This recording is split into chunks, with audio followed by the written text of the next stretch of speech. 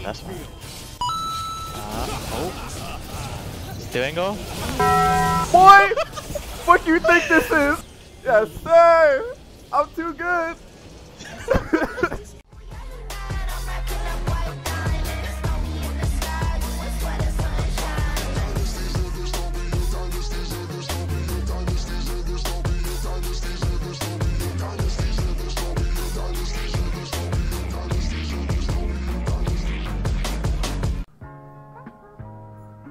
Should you play First Strike Ekko?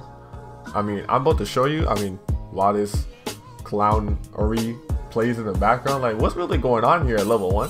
Anyways, I'm about to show you and tell you why you should try First Strike, but I'm also gonna use some, you know, some some pros and cons because there's definitely there's definitely some cons to taking First Strike. So the pros, right? Uh, you're gonna scale faster because you're getting money at all stages. You're trading early game, you're trading late game, and your trades late game give you a lot of gold. Inspiration tree itself is just it's just better. Like futures market is really good, time over time is good, and the free boots good. And then lastly is just I mean quite simply like I'm just trying to make money. It's that simple.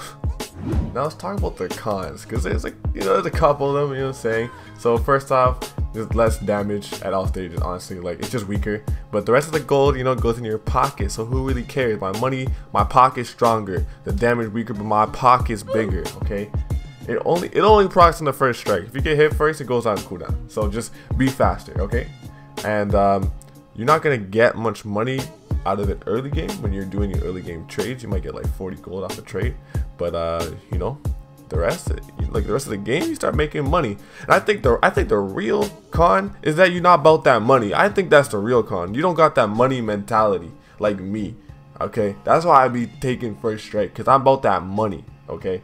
Quick maths. Okay, but the real con, as you probably just saw and read, was that First strike makes you a little bit greedy, you know what I'm saying? But like it's this this just comes with having a money mentality like me. I'm trying to get that money by making those trades and you know sometimes it backfires, but as you can see here, it didn't. So I'm gonna show you on the side a comparison of you know an uh, electrocute game to a first strike game. Obviously it's not like the exact same timings, but this is like this most similar time I could I could find, right? So here you'll see First Strike, which was a really good game. I got I did 2100 damage and I got 2200 gold.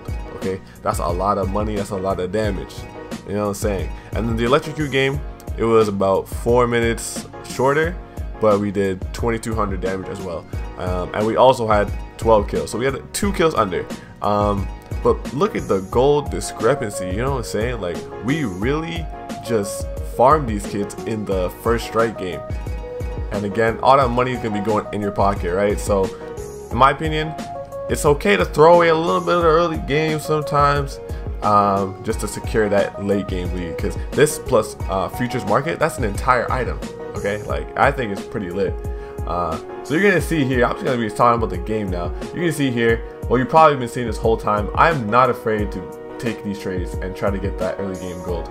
You probably should be because these trades are really really bad. Like one thing I can I can see from looking at my own gameplay is I'm definitely making some very very aggressive plays that are not working out and I'm not staying safe. You should definitely ward up, be a bit safe in your lane. Um, you never know which jungler is trying to camp you, you know what I'm saying? So over here, we are just trying to get that plate money. We're, we're trying to do something. We're just so broke. You see, I go for it again. My team is dying, and I say, that's it's a worthy sacrifice, okay? We have two plates off of this tower. Like, this is what we need to get back in the game.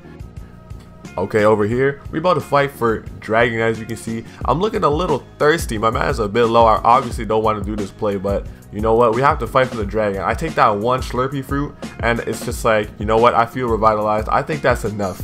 I think I can do this. So we're about to start the fight. Amumu's looking in here for a pick. He's looking in for something. And this Aatrox hops over the wall. He starts engaging on us and it's looking pretty bleak, but Sai just lands the fast stun and kills Morgana. And did you see that? 123 gold from first strike. And that's what you're going to be getting. We only have a rocket belt and a dark seal. And that's 123 gold already. So um, just wait until later in the game when we actually start farming.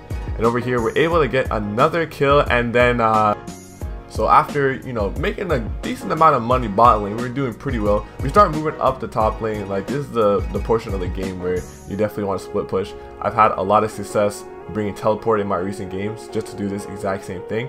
And uh, this Aatrox right here, um, again, the one thing about first strike is anytime you see an enemy, you just jump on them, get gold. That was not the clip, the same clip twice. I traded on him once, I waited, and I did it again in the next like 20 whatever seconds. So we just got a total of like maybe 150 to 200 gold off of the Aatrox, and then we dove him and killed him right after. And I sacrificed my my jungler and left. Um, so over here we get a we get a free kill, and then we're looking for some more. And look at the Sylas, bro. He has Zhonya's, he has a Mumu ult, and I just get I, bruh. So we're back up in the top lane. I think we were able to secure another Rift Herald. There was one earlier. I, I don't think I showed it. Oops. Um, so our team's our team doesn't believe in the econ dream machine that is Drey Gasai, but we're top lane. We push the first tower. We're gonna push the second wave with our OP wave clear and we're gonna go for a tier 2 turret right here and uh, with Rift this is easy we just we just pocket that 550 plus 50 gold and we go farm the jungle right after like this is what it means to be about that bread okay we on the money moves you want to late game especially you need to just be farming so you can get to that point where Ekko's actually a decent like a, not even a decent champion a champion in general okay so over here this is the first part of how we came back. Like I was able to steal a Baron and uh, you know after that we just get out, we recall and we get that free 300 gold. And the most important part is that they're not ramming uh, Baron minions up our ass for the next three minutes. So that's pretty good. We're also able to uh, sell the Dark Seal and then we get our death cap early. You might notice I don't have sorcery shoes, and that's just because uh, with time warp tonic and free boots, um, it makes it so you know. Okay, sorry, I'm gonna pause. Did you see that? 213 gold. I killed this Kai'Sa one shotter, and we got a thousand gold shutdown plus 213 from first strike, and that's how much we're gonna be getting by having Deathcap, Rocket Belt, and Nashor's. It's really not bad. It gets better. And this champion is bullshit. Anyways, as I was saying, um, we sacrifice the pen and the extra movement speed. Just, you know, we just live off of the fact that we have 10 movement speed from free boots and we have corrupting potion taking with time warp tonic. So, you know, the movement speed is kind of there. So on that last trade, which was pretty dirty, I won't lie, we made 180 gold off of first strike. Okay, are you are you taking in all the gold we're making here? Like first strike is really doing work. I, I don't think we had first strike up there. I didn't really see it, but um, like, it's making money. We're at the point in the game where First Strike is probably making us 200 to 300 gold per combo. Um, and now look at this Kai'Sa. She's here to donate some more gold. She said, you know what, Drey, you're doing amazing. We, I, I just want to reward you real quick. And she gives the fat 1,000 shutdown. And that 1,000 damage translated to 100 more gold from First Strike. Like, what's, what's there not to love? Um, after this, these guys overstay even longer. Like, I actually don't know what these guys are doing. And we're able to get another kill on Morgana as our Caitlyn finishes off the Sylas. And then we get the Comtech, sorry, the Chemtech Dragon. Like, we're actually in this game, sort of, you know what I'm saying?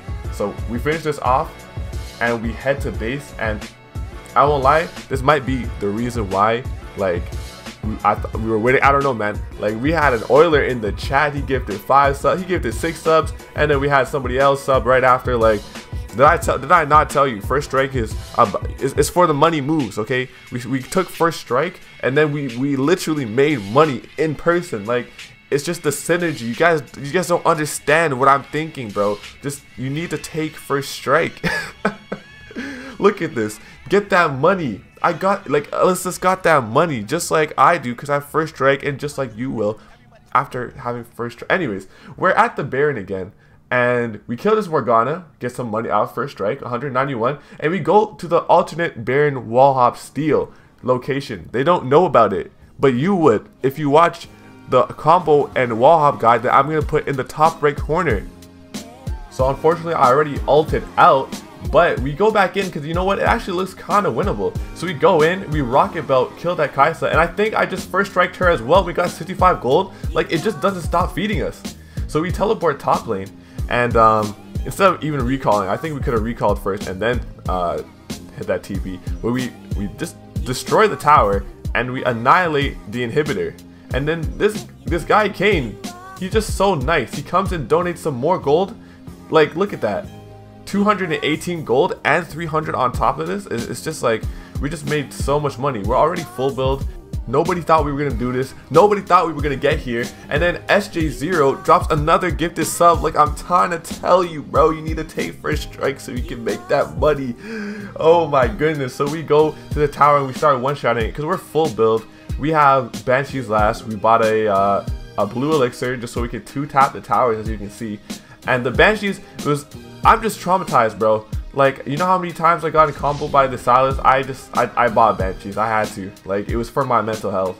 Like, th this game was already taxing enough thinking we were going to lose it. How many times people tried to FF.